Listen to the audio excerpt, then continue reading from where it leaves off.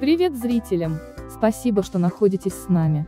Солист группы «Ласковый май» Юрий Шатунов 23 июня скончался от обширного инфаркта.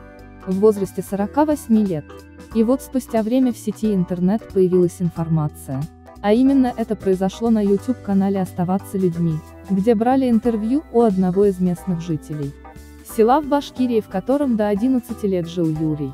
Он сказал, что у Юрия была сестра. Не помню, ее тоже в интернат отдали, или люди к себе взяли, они с ней похожи.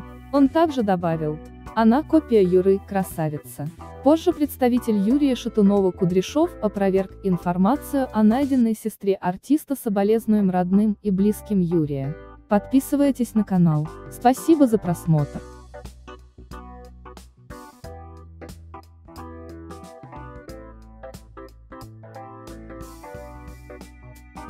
した。